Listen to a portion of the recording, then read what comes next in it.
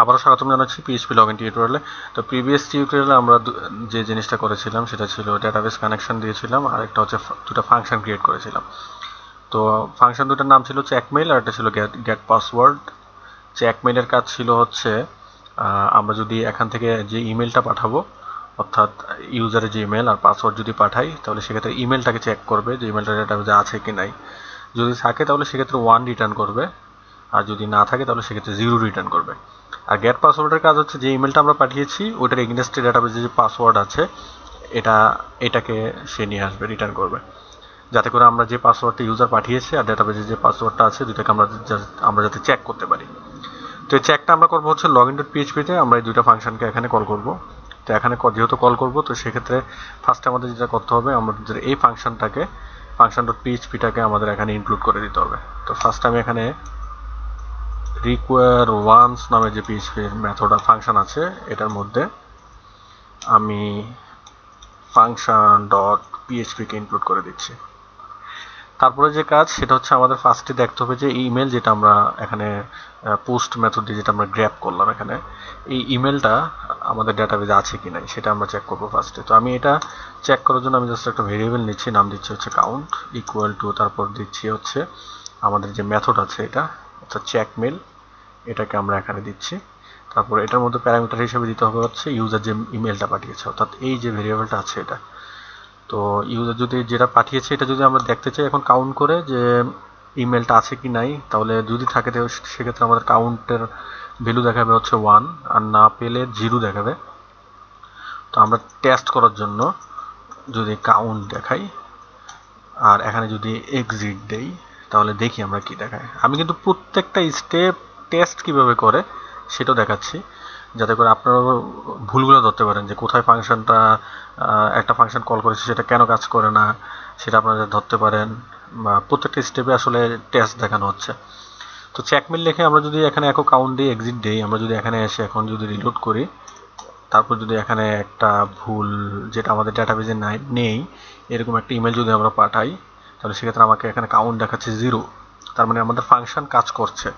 এখন আমরা ব্যাকে এসে আমরা যদি এখানে admin at the rate of mail dot com পাঠাই, অর্থাৎ যেটা আমাদের ডাটাবেজে আছে, তাহলে সেক্ষেত্রে আমাকে ওয়ান দেখাচ্ছে। তার মানে হচ্ছে আমাদের function properly working in here তো নেক্সট কাজ যেটা আমাদের করতে হবে, সেটা হচ্ছে এখানে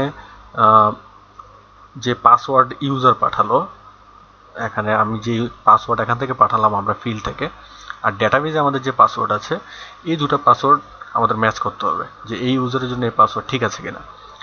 তো এটা চেক করার জন্য আমরা যেটা করব সেটা হচ্ছে যে আমরা সিম্পলি এখানে এসে এখানে আমরা জাস্ট লিখতে পারি হচ্ছে user password user password equal to আমরা এখানে যে গেট পাসওয়ার্ড যে মেথড আছে আমাদের, এটা নিয়ে আসব।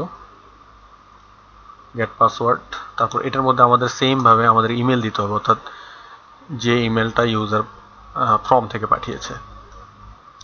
তাহলে আমরা এখানে যদি একো দেই, যে একো ইউজার পাসওয়ার্ড আমরা পাচ্ছি কিনা সেটা আমরা একটু দেখি। তো এখানে দিলাম হচ্ছে সেমভাবে এক্সিট তার মানে আমরা চেক করে দেখছি ফার্স্টে যে আসলে পাসওয়ার্ডটা আমাদেরকে পাঠায় কিনা। তো আমরা ব্যাকে এসে এখন যদি রিলোড করি, আমরা যদি এখানে admin at the rate of mail dot com পাঠাই, আর পাসওয়ার্ড যদি one two three four five six যেটাই পাঠাই, আমাদেরকে ওয়ান টু থ্রি পাঠাচ্ছে। তার মানে হচ্ছে ডেটাবেজে আমাদের যে পাসওয়ার্ড ওয়ান টু থ্রি সেটা আমাদেরকে রিটার্ন করেছে এখানে। তো যেহেতু আমরা কাউন্ট এবং ইউজার পাসওয়ার্ড পেয়ে গেলাম, তার মানে হচ্ছে দুটো ফাংশনই প্রপারলি কাজ করেছে। তো এখন আমাদের পরবর্তী যে কাজ, সেটা হচ্ছে আমরা এখানে ফার্স্ট একটা কন্ডিশন দিতে পারি যে ইফ যদি কাউন্ট এটার জন্য, এটা হচ্ছে কাউন্টের জন্য, আর এখানে যেটা হবে, যদি কাউন্ট আমাদের গ্রেটার দেন জিরো হয়, তার মানে হচ্ছে যদি ওয়ান হয় গ্রেটার দেন জিরো মানে হচ্ছে ওয়ান টু থ্রি তো যদি ওয়ান হয়, তাহলে তার মানে হচ্ছে আমাদের মেল আছে। যদি ইমেল থাকে, তাহলে সেক্ষেত্রে এটা এক্সিকিউট হবে, অর্থাৎ লগ যে প্রসেস সেটা কাজ করবে।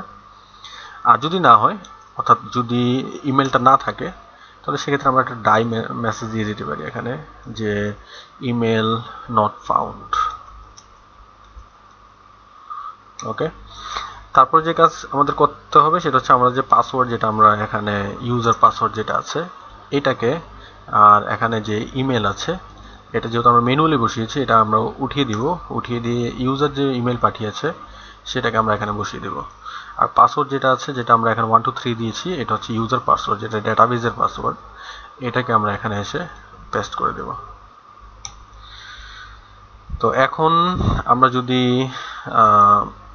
এটাকে সেভ করি সেভ করে এখন যদি আমরা আউটপুট দেখি, এখন এখানে এসে পিছনে এসে আমরা আবার রিলোড দিলাম। তারপর এখানে যদি আমরা ঠিকভাবে admin at the rate of mail dot com দিই পাসওয়ার্ড যদি দিই ওয়ান টু থ্রি তাহলে সেক্ষেত্রে লগ ইন হলো।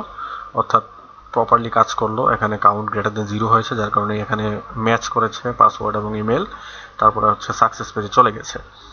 লগ আউট করলাম, আবার আমি এখানে আসলাম এক্ষেত্রে আমি হচ্ছে ভুল দিচ্ছি admin at the rate of mail dot com এক্ষেত্রে পাসওয়ার্ড আমরা যদি ভুল দেই টু থ্রি ফোর ফাইভ দেই, তাহলে সেক্ষেত্রে যদি লগ ইন করি, তাহলে সেক্ষেত্রে আমাকে এরর দিচ্ছে যে ইমেল ওর পাসওয়ার্ড রং আর যদি এখানে এসে আমরা যদি এমন একটা মেল দিই যেটা নেই, যেমন জিআই ডট কম একটা পাসওয়ার্ড দিলাম যেটা আমাদের ডাটাবেজে নেই এই ইমেল অ্যাড্রেস তাহলে সেক্ষেত্রে যদি লগ ইন করি, তাহলে সেখানে আমরা দেখতে পাচ্ছি ইমেল নট ফাউন্ড তো এটাই ছিল আজকে টিউটোরিয়াল আমরা খুব ইজিলি দুটো ফাংশন ইউজ করে ডেটাবেজের সাথে ইমেল পাসওয়ার্ড নিয়ে আমরা চেক করলাম। তো প্রিভিয়াস আমি যেটা টিউটোরিয়াল দেখেছিলাম যে উইদাউট ডেটাবেজ ওইটার সাথে এটার সাথে ডিফারেন্সটা হচ্ছে। এখানে আমরা ডেটাবেজ ইউজ করেছি, ওখানে ডেটাবেজ ইউজ করিনি। আর নেক্সট টিউটোরিয়াল আমি দেখাচ্ছি যে এমডি ফাইভ বা শা ওয়ান কী করে ইউজ করে পাসওয়ার্ড হ্যাশ করা যায় এবং সেটা কীভাবে এখানে ইমপ্লিমেন্ট করা যায়। তো নেক্সট টিউটোরিয়াল দেখার আমন্ত্রণ জানাচ্ছি। আল্লাহ হাফেজ।